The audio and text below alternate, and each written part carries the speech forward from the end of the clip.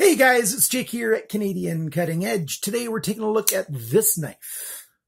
This is the Fura Water Ripples.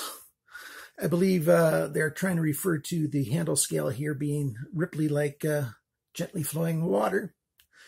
And we've got a real funky, uh, I'm going to call it an upswept sheepfoot blade. I would call it a Wharncliffe if the uh, cutting edge were right flat, but because it's curved, it's got a belly on it. I'm calling this a sheep's foot upswept blade. It looks a little bit like a moustache, monsieur moustache, or a little bit like a smile. No. Funny thing is about this knife is it's thickest here and here in this dimension from spine to edge and spine to belly. It's thick here, thick here, and then it gets thin and then back thick on the ends. A somewhat unique style knife, if you ask me. Titanium handle scales comes in three colors. This purple, which is the uh, color that is in highest demand. So they're charging full price for this purple version. You can get it in a black and in a gray, a blue, not a gray, a black and a blue. And uh, those are on special. Those have either 19% off or 24% off. So if you're interested in this and you're not sure of the purple color, hey, one of those other colors is a better deal by several dollars. So it's a frame lock, uh, lock bar insert, so nice steel. They say that it's a D2 blade, and we're going to talk about that. Flipper tab and roller bearings. So stay tuned for the full review of this guy coming at you right now.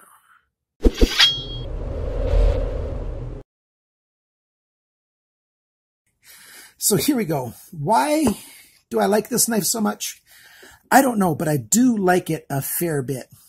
It is both simple and yet fancy at the same time. It is very functional, you know, nice long belly, decent tip, feels good in the hand, and it makes it a relatively good cutting knife. I like it. My hands are large. They border on extra large. Just about any kind of grip. Uh, in European sizes, that's between 10 and 11. Uh, so a reverse grip, comfortable on this knife. My thumb fits over that end quite well. Very comfortable. Uh, reverse, reverse, that works as well. If you needed to do, you know, some drawing kind of cuts, uh, your regular, you know, fist grip works. Pinch grip, sneak up, you know, kind of grip. Pretty much any kind of grip you want works very well because it's a very basic shape with chamfered edges. So you can see this flat piece of steel right here, and then you've got that edge that's, you know, the corner is cut off. That's called a chamfer. So you've got the chamfered edges, a little bit of texture over here, and it's just a comfortable knife in the hand. Comfortable for people with smaller hands than mine, and for people that have slightly larger hands, I think they'll also find this knife fairly comfortable. All right, time for the dimensions. Cutting edge, 8 centimeters, 3.17 inches blade length. So that's from the tip of the blade here to the closest point on the handle, 8.45 centimeters, 3.33 inches. The blade thickness is 3.34 millimeters. That's 0.1315 inches. Pretty good thickness of stock here. Blade depth, so that's the dimension from the spine to the cutting edge, and it's biggest over here on the end, as I mentioned earlier, 2.16 centimeters, 0.849 inches. The thickness of the edge behind the grind, and so that's right after the final grind, right there.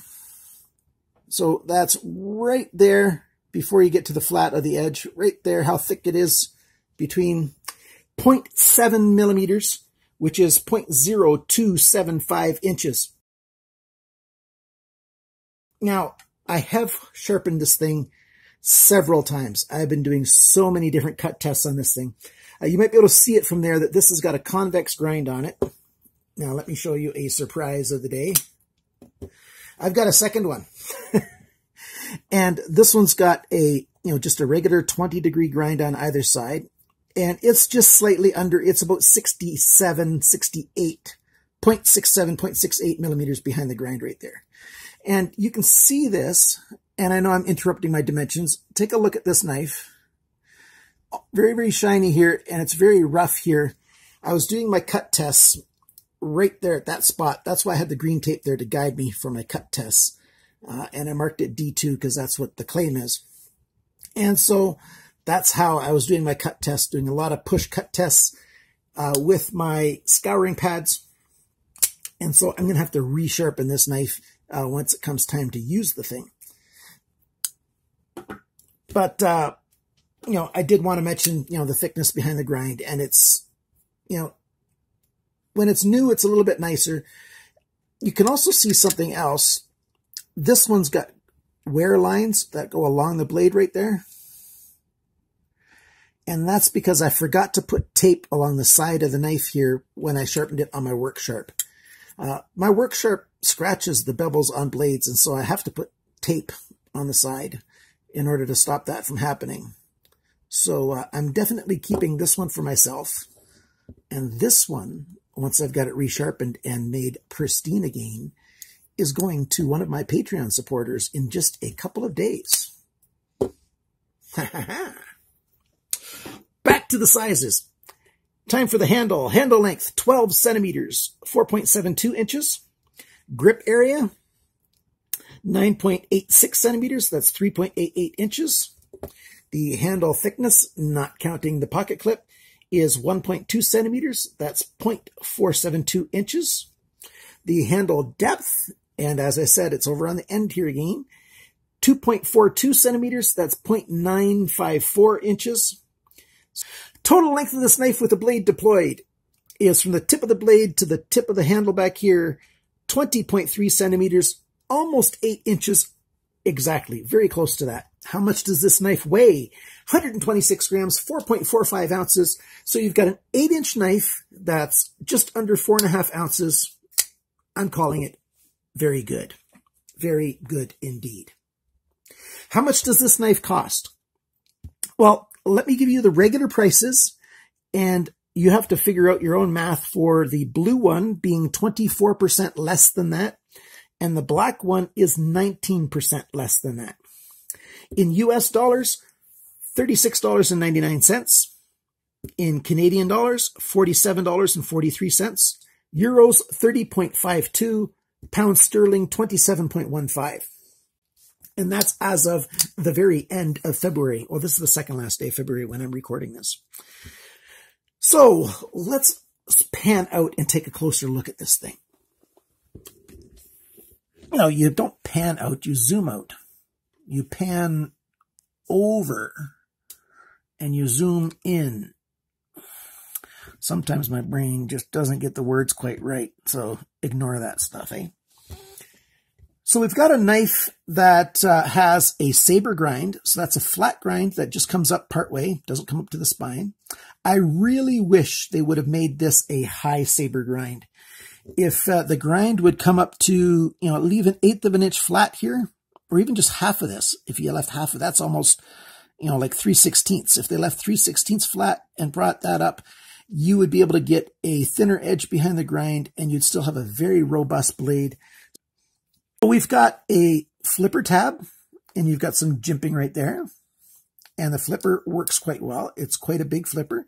The jimping is designed for doing light switch mode to pull back. And when you get the weight of this blade turning, you know that you've got more weight on the end than you have anywhere else because it's thicker and deeper this way. You know, it starts flying and it goes very well. The push method doesn't work all that well. You can get it sometimes to go it's much easier just to do the light switch method on this knife. I'm sure there's people that can do the push down method and have it work, but you know, light switch method is my go-to method on this. You've got a nice big stop pin, and that's a good thing. The stop pin just rests in there, nice and thick. Uh, I'll give you the dimensions, the diameter of that stop pin on the screen right here. You've got a nice pivot, and you can use a large flat screwdriver to take it apart if you need to. And back here, we've got Torx, and uh, I think that's a number nine Torx, maybe number eight. And that comes apart. Uh, lock bar insert is right in there.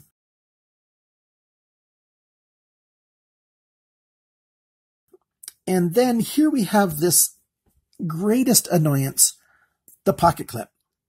It's annoying for a couple of reasons. It's not a very deep carry, so you've got lots of knife sticking out, almost an inch. And this thing just looks odd. You've got this curvy line, you know, there's no straight lines on this pocket clip anywhere. And yet this whole thing is straight lines. You know, you've got a straight line up, straight line over, straight line up.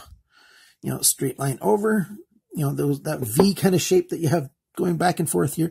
Yes, it's scooped out, so you've got a bit of a curve there, but everything else is straight lines. Straight line, straight line. Very gentle curve here, but it's just straight lines everywhere, and yet they've got this pocket clip that just looks very, very weird. And they've used this exact same pocket clip on several other Fura knives, of course, just changing the color.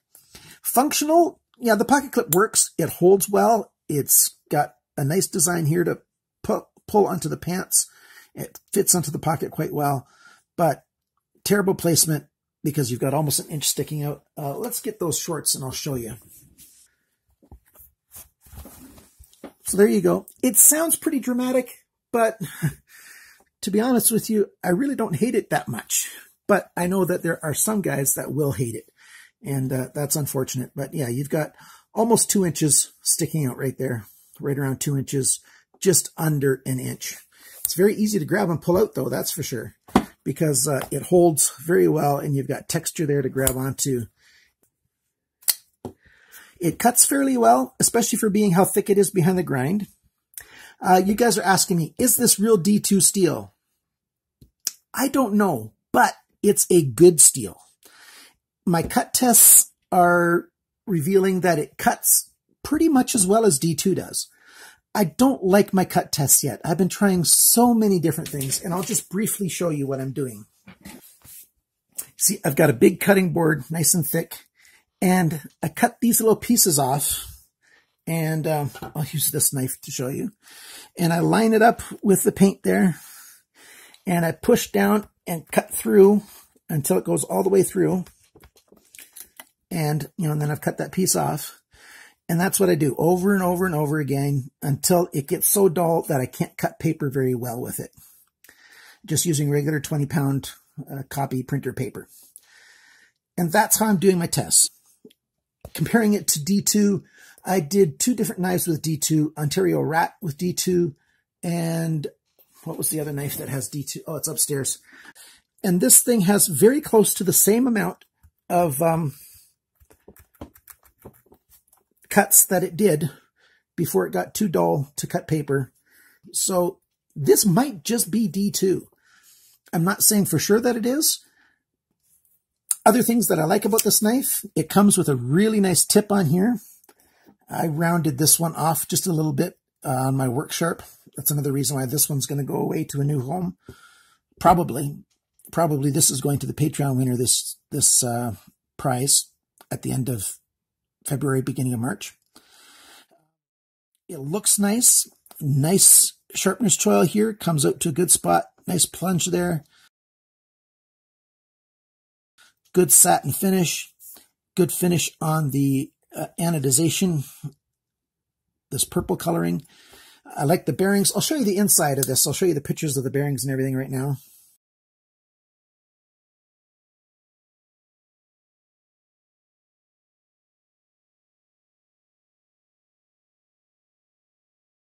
Um, there's no jimping anywhere. I kind of like that. Well, there is some jimping on the flipper tab right here, but nowhere else. It's very easy to get in here because the way they've cut that out, they've milled that out, I should say. It's very easy to get your thumb in there and unlock the knife. If you are right-handed, it is super easy to do. If you're left-handed, it's not hard either. You just have to move your fingers a little bit more but you get used to it in a hurry. I want to thank my Patreon supporters. You guys are awesome. If you want to become a Patreon supporter, all you have to do is send me through Patreon $2 a month and you plug in your credit card numbers and they draw it automatically at the end of the month. And every month you'll be put in for a draw for one of the knives that I reviewed that month. And it'll be a knife that is sort of in the average price of the knives that I've reviewed. So it's not going to be the cheapest knife no way. I'm not that kind of guy. And it won't be the most expensive knife either. I'm not that kind of guy either. I'm generous, but not quite that much.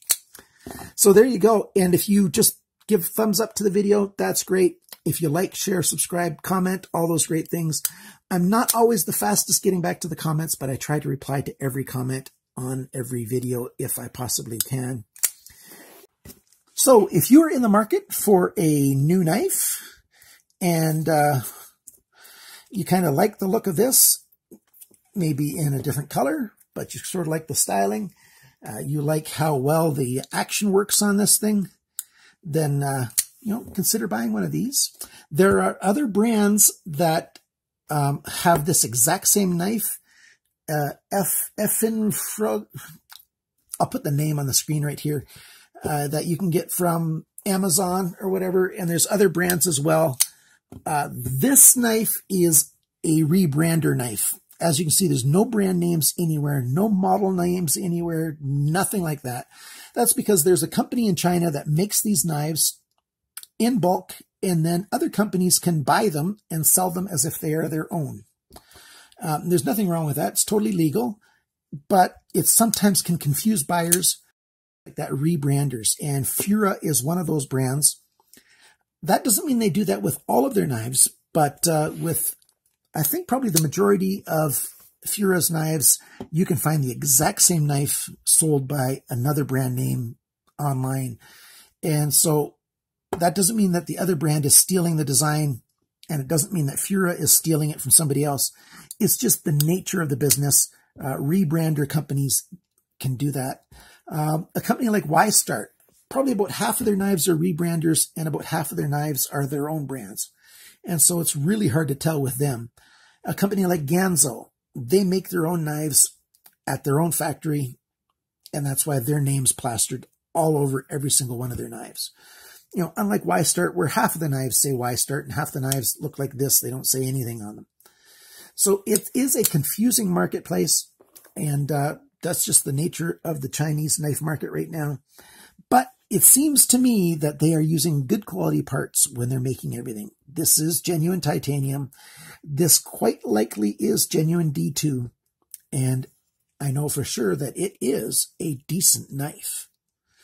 So thanks so much for watching. Thanks for liking, sharing, commenting, and subscribing. And we'll see you guys in March. Well, I might have one more video in February. We'll see. Until then, remember, always cut towards your chum, not your thumb.